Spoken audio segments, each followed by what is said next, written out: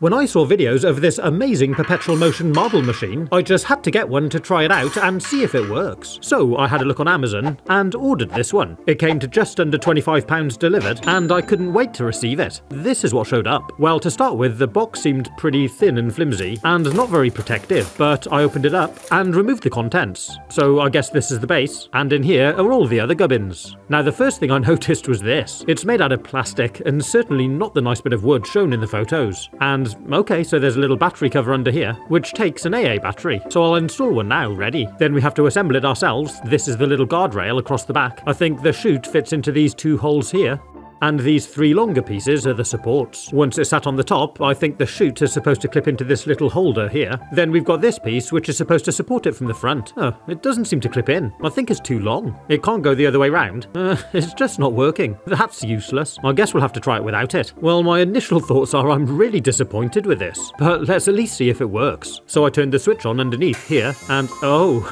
you can see it's just driving this wheel down here in the hole. And the motor noise is really loud. It's certainly not the nice quiet quiet, calming effect I thought we were going to get from this machine. It's really going from bad to worse. But let's put one of the marbles on. So it just spins round and round. Then when it drops down the hole... Hey, look at that! Oh, and again, and again, and again. Oh, oh, that was clever. So it did five in a row, then the sixth attempt failed, but quite amazingly it bounced straight back onto the track. I'll give it another go. Whee! And again, that's unbelievable. Let's try two at once. And they're off. Whoa, that was neat. Well, they're definitely working. That one's going round and round. And there we go, both fallen off. Okay, so it is fun playing with this, but let's be honest, it is pretty useless. The product doesn't look anything like the nice photos that were advertising it. It doesn't even fit together properly. It's powered by this really noisy motor, and after just a handful of successful loops, it seems to fail, so you couldn't just really leave it somewhere to go round and round. Who knows where the marbles would end up? I've obviously been ripped off with a nasty fake version of the real thing, so I did a little digging around on the internet and came across this. It's the website of the genuine inventor of the original machine, William Le, and he even warned that there's thousands of fake knockoff devices for sale. These look beautiful, so I contacted him and he agreed to make me one. And while we're waiting for it to arrive, I'm going to show you another amazing product.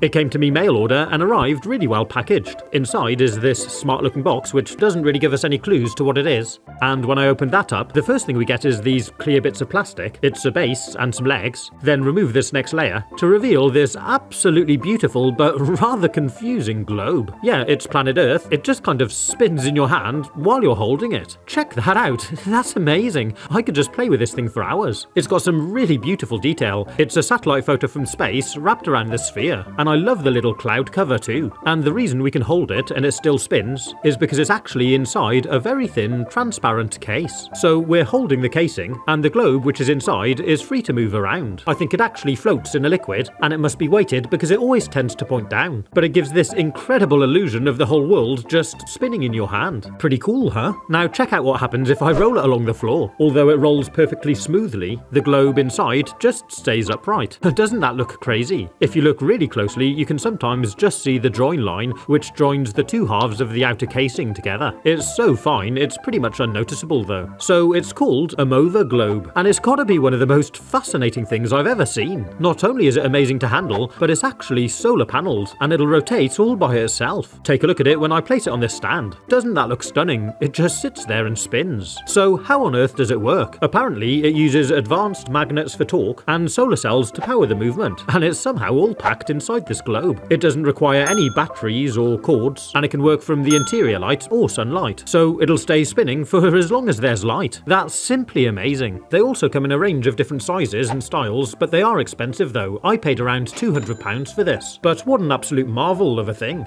If you'd like to buy any of the things you see in this video, there's links in the description. And if you'd like to support me and the channel, please do consider subscribing. Next I want to show you this Drinking Bird Perpetual Motion Simulator. It's a lot cheaper than the other two. It costs around the £12 mark. Open it up and you've got the body here and the legs here, which is really a stand that the whole thing swings on. The body's made out of this glass tube with a bulb on the bottom containing this blue liquid. The glass tube links this bulb with another one at the top, which is covered in fabric and made to look like a bird's head. And to use it, we start by clipping it into the legs like this. Then we need to take a drinking glass, which is roughly the same height as the legs, fill it up with some water, and we actually need to wet the head of the bird, so I dipped it into the glass like this. Next, we need to position it so that when when the bird rocks forward, he dips his beak into the water to take a drink. And if you need to, you can adjust it up and down in the metal clamp, so that as the blue liquid rises up from the bottom into the head, the bird rocks forward to take a drink. Once it's adjusted correctly, it should automatically just tilt forward, take a little drink, then sit back upright. And once you've got it set correctly, it should just continue to work. This clever little toy works as a result of the water cooling around the bulb at the top. The moisture, which absorbs up through the beak and around the head, cools down the gas inside of the top bulb, and as a result, the pressure difference between the top and the bottom bulb causes the fluid to be pushed up through the glass tube. When it's top heavy, it reaches a tipping point it bends forward to take another drink, and at the bottom, gas enters the tube, which displaces the liquid all the way up to the top, causing it to run back down to the bottom. It's a really clever little heat engine, and as long as the top bulb continues to get wet, the process will just repeat. I've kept this one going for days without even having to top up the water. It's a great little science toy, but now guess what's arrived? It's the perpetual marble machine. Even the box is far better quality than the first one I ordered, and I'm being very careful when I open it not to damage what's inside. Oh, look at that. Isn't that packaged nicely? I removed this bag of bits and pieces, and the silica gel pouch, then took it out of the box. There's these precision cut pieces of foam to keep it well protected, and when I took it out you can see it comes completely pre-assembled. Not like that cheap version I bought. This one's been beautifully crafted and it looks just amazing. If we look at the top piece, whereas the other one was all plastic and had a motor and switch on it, this one is just a lovely solid piece of wood. Instead, all the magic happens under this panel inside the base, and we'll be looking in there in a minute. But one of the first things I noticed when I picked this up was just how heavy it is. It's definitely solid wood and it feels really good quality, and when I weigh it, it comes out as 1.1 kilograms. If we compare that to the first one I bought, well this one doesn't even weigh 400 grams. If we put them side by side, you can see they're similar dimensions. The cheap one is a little bit shorter, and not quite as tall. So next I'm opening up this pouch and I'm going to take a look at the instructions. To use it, we first need to unscrew the rubber feet and open up the bottom panel. Wow, check that out. There's a lot going on in there. A circuit board with four large capacitors, and I think this is an electromagnet which accelerates the ball as it rolls past on the chute. Perpetual motion obviously doesn't really exist, and these are just a perpetual motion simulator. Basically, it's an illusion and it requires a battery. It takes one of these large rechargeable batteries, which I had to buy separately, and it clips in here. The instructions say before we screw the cover back on, we should first check it turns on and works. It shows there's a kind of hidden power button which we just have to tap with our finger. I tried it out and wow, sure enough the little green LED on the circuit board lit up. Check that out, that's so cool. A touch sensitive wooden base. So I dropped a marble in and... Yes, look at that! Oh, that's beautiful.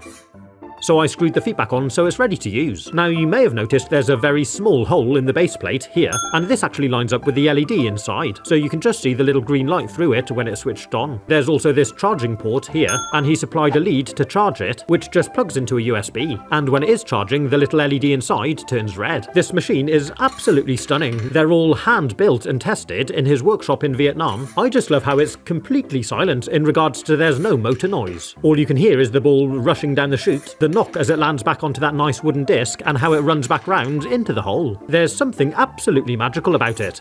I've kept this one going for ages and it hasn't missed a ball yet. And you can even use it with more than one ball.